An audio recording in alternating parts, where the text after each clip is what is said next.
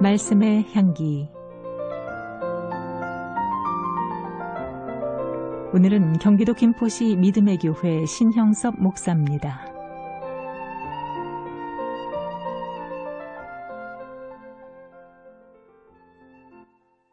아침부터 입안에 맴도는 복음성가가 있습니다.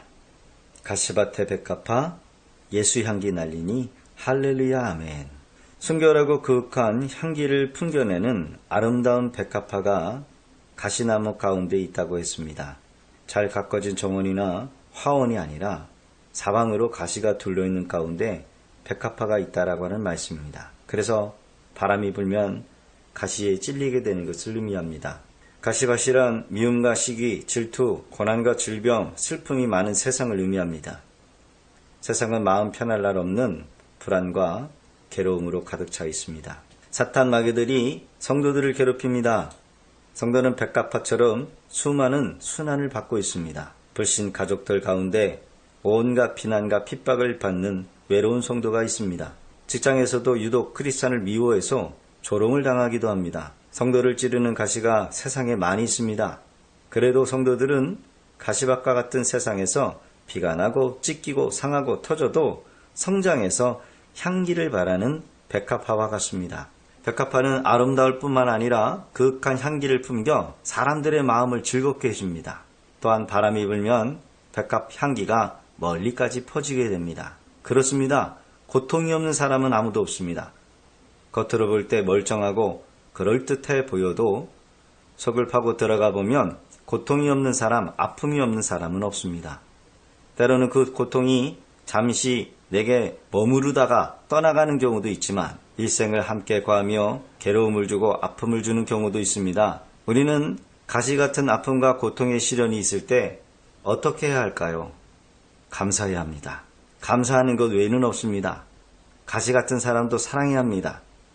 가시가 찌르지면 아프지만 그 가시로 인해 나는 성장할 것입니다. 나는 더 향기를 멀리까지 바라는 아름다운 백합화로 피어날 것이기 때문입니다. 어떤 고난의 때가 있을지라도 때가 없는 고난은 없습니다. 하나님이 정하신 때가 있기 마련입니다. 고난이 끝나면 그 고난만 끝나는 것이 아닙니다. 그동안 당한 것, 잃어버린 것, 월급, 못 받은 것, 욕까지 얻어먹은 것까지 다 계산하고 결국 하나님께서 다 채워주십니다. 요일서의 기록을 보면 메뚜기가 갉아먹은 횟수대로 다 헤아려서 갚아주시겠다고 약속하십니다. 이처럼 고난이 끝나면, 훈련이 끝나면 모든 것이 영화롭게 회복됩니다. 둘째로 겸손해야 합니다. 바울은 세 번에 걸친 기도에도 불구하고 그가 원하는 대로 육체의 가시가 떠나지 않자 하나님, 저의 기도에도 불구하고 이 육체의 가시를 그대로 허락하시는 이유가 무엇입니까? 라고 물었습니다.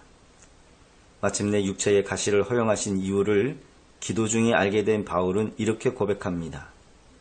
고린도 후서 12장 7절 여러 계시를 받은 것이 지극히 크므로 너무 자만하지 않게 하시려고 내 육체의 가시 곧 사탄의 사자를 주셨으니 이는 나를 쳐서 너무 자만하지 않게 하려 하심이라. 성 어거스틴은 그의 유명한 고백록에서 그리스도인에게 가장 중요한 덕목이 무엇이냐라고 하는 질문에 첫째도 겸손, 둘째도 겸손, 셋째도 겸손이라고 대답했습니다. 하나님이 바울에게 육체의 가시를 허용하신 이유는 그를 겸손한 주의 사도로 만들고자 하는 하나님의 섭리였습니다.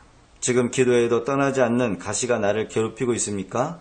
그렇다면 이제 그 가시를 허용하신 주의 뜻을 알게 해달라고 기도해 보세요. 나를 괴롭히는 가시에도 불구하고 우리의 사명을 능히 감당하도록 기도해야 할 것입니다. 지금 나를 찌르는 가시의 고통이 아플수록 엎드려 기도하십시다. 가시나무 가운데 백합화가 찌르는 가시로 인하여 찢겨지지만 향기를 더욱 풍겨내듯이 세상에서 이런저런 고난을 당하지만 오히려 예수 향기를 나뉘는 성도님들이 되시기를 부탁드립니다.